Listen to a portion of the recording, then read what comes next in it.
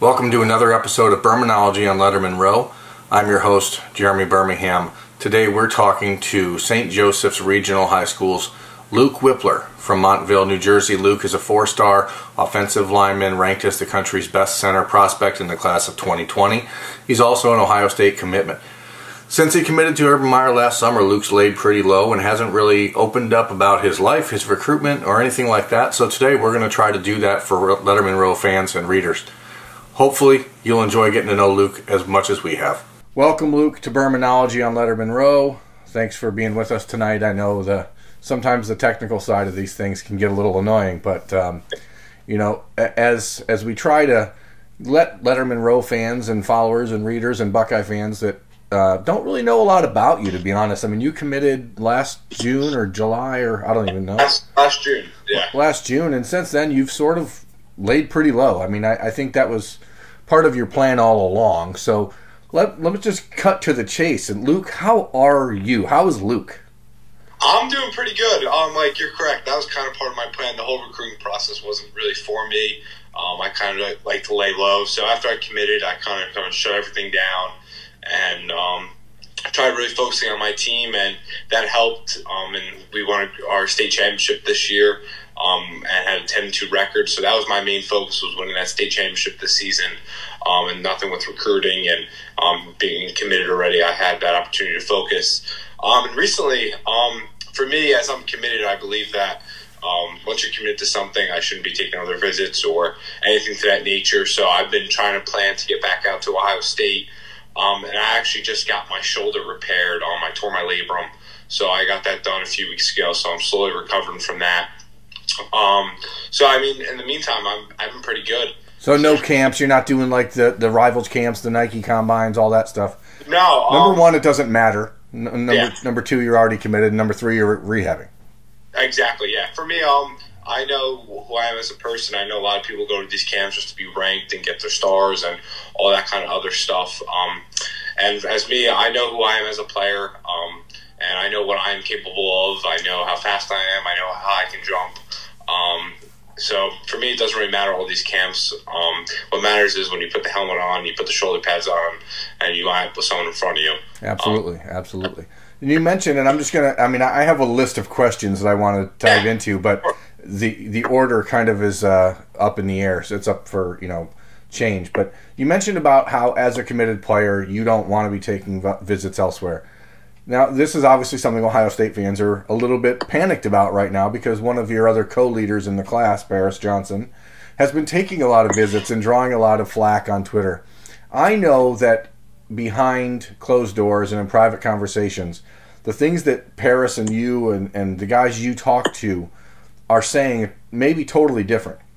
But how do you, taking the, the approach that you're taking, deal with and talk with Paris about his approach? Um, for me and Paris, actually, we were just talking two, three nights ago. Um, and I mean, for him, like that's one of my friends outside of recruiting. If he does decide to go Ohio State, or if he does decide to go somewhere else, um, that's his choice. He's one of my good friends, um, regardless. And for him, he's earned these opportunities to go visit these other schools. He's the one that put in these work and put in the long hours in the weight room and on the field and he deserves to go take these other opportunities. And for me, I still believe Ohio State is the best fit for him, no matter what.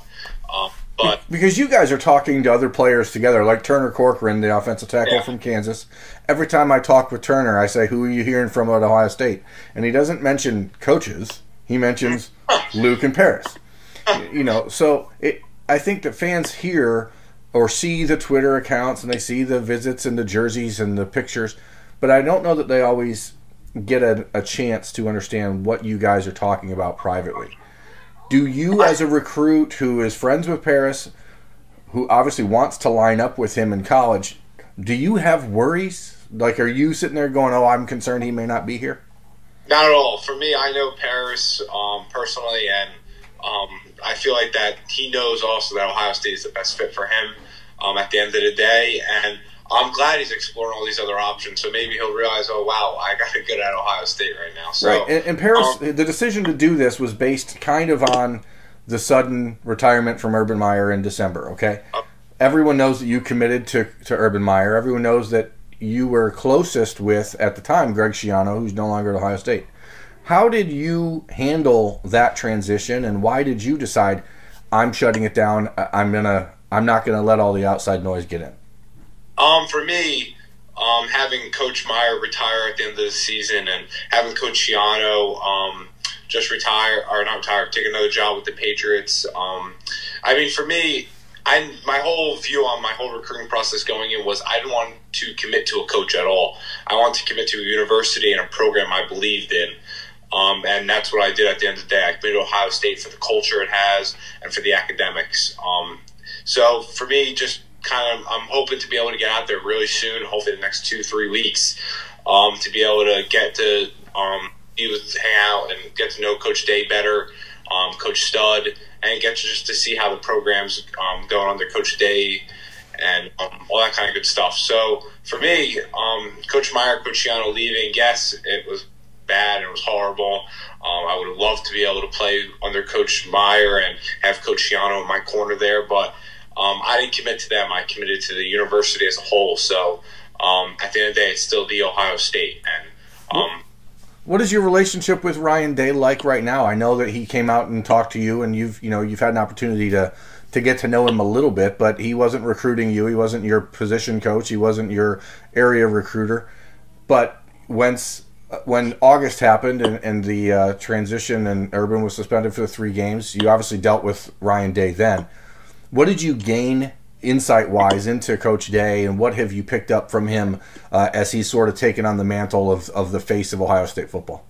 Um, for me, uh, um, getting to know Coach Day in August when he took over the team for those three weeks, and now that he's the head coach permanently, um, and he came to visit me, um, I guess that was like probably November. Um, he's a great guy. I mean, he reminds me a lot of what Coach Meyer is, and kind of a blend between Coach Schiano and Coach Meyer, um, and just a younger version. Yeah. Um, but he's a Northeast guy, um, so he knows the area well. He actually coached my head coach when he was a GA at Boston College. So um, I've heard great things about him as a person, as a coach. And I'm um, kind of just talking to him about X's and O's, about life, and how he's going to prepare me to achieve the things I want to achieve. Um, I couldn't be happier, and I have full trust in him that he's going to take what Urban Meyer has done with the university and the football program and continue that and only make it better. Uh, you so, you committed to Ohio State, as you said, for the culture of the football program and the academics, but and I know people may know this peripherally, but you committed to Ohio State over Stanford, uh, Notre Dame. We're talking about some of the the country's creme de la creme when it comes to the academic side of, of what you know college life is supposed to be. Were you shocked when you went to Ohio State the first time and realized how committed that program was to academics compared yes. to, compared to what you had heard about the school growing up? Of course. I mean, growing up, you always hear about like Stanford, Yale, Harvard, especially from New Jersey. Those are always the big schools. Um, Notre Dame, of course, being a New Jersey guy. Um, those are always the big schools you hear about. And for me, like you always think of like Alabama, like all those Ohio State, all the kind of um, big football powerhouse schools that kind of like you play football and then you're a athlete student um, per se. Um, but when I got to the campus and I saw how dedicated at the time Coach Meyer was to having students excel in the classroom and on the field, that's what completely changed my view on how these schools approach academics and their student athletes. Um, so that's really was one of the biggest things for me, and getting to meet one of the heads of um, the Fisher School business and getting to kind of walk around that um, campus and the um, school side of things, I couldn't have been more impressed. So that's what kind of really hit me was how dedicated the program was, the football program was, to having their players excel in the classroom and on the field. And I know you, you've said you want to get back to Ohio State. You're thinking about the weekend of the 29th and 30th, or maybe the first weekend in April. What else is on the, you know, in the future for, for you? Is it just rehab, getting ready through summer? Are you going to play any other sports? Are you just trying to get healthy? And, and you know, do you have official visit planned at Ohio State? Are you looking to do that in the spring or, or, or the summer or fall? Or what's what's next? Um, for me, right now, I'm focused on rehabbing. Um, right now, I'm kind of just um, trying to get out of this out of the sling I'm in, and um, just kind of getting trying to get back to ordinary life. I can't really drive yet. Um, I drive a stick, so I need two hands. So um, I've really been able to have my normal life per se back um, from what I was used to. So um, I'm kind of focused on rehabbing, getting myself right. Um, so I'm healthy when I arrive at Ohio State, and I'm healthy for this my upcoming senior season. So I can hopefully repeat as the state champion um, with my team. So for me, that's kind of my main focus is rehabbing. Um, and all the other pieces are going to fall into place when they need to. Um, right now, I'm just kind of focused on me and my team, um, and how we're going to do this season and how I'm going to recover. Do you have any plans for enrollment, or is there any opportunity for you to do early enrollment, or are you definitely a, a, a summer of 2020 guy, or have you have you talked about that with Ohio State? Um, yeah, we're kind of um, figuring out where I'm going to fall. Um, so it's kind of up in the air right now, but yeah, um, either either one's a possibility. Um, I'm not going to say one's right now higher on the scale than the other, but um, either one's a really good possibility. I have credits to either or, so I'm in a good spot. What are you going to miss the most about New Jersey when you go to Ohio State? The pizza and the bagels. Pizza. I'm telling you, Columbus pizza is a is a problem. It, it, it's a real, real problem in Ohio that we don't I, have really great pizza places. Um, I think I was Max Ray took me out for pizza when I went on my unofficial. And Coach Schiano looked at him like, "You took you took a Jersey kid out that I are you crazy?" But I mean, pizza wasn't horrible. I'm not gonna lie, but um, yeah, definitely the two biggest things right there: bagels and pizza. There's nothing like it. What's your favorite pizza place in Jersey? Um, Nellie's place in Waldwick. Yeah. Um, they have like thin crust, kind of like bar pizza. Oh, nice. And I can take it down a pie, a pineapple and ham. Um, you know, you're going to draw a lot of a lot of ire from people saying uh, that pineapple doesn't belong on pizza. Yeah, listen, it belongs on pizza if you eat it. That's that's all I'm going to say. I am so excited to go back to Rutgers this year for Stuff Your Face on campus in Piscataway. It's unbelievably good. I used to live ten miles from um, New Brunswick, and yeah. brother actually went to Rutgers.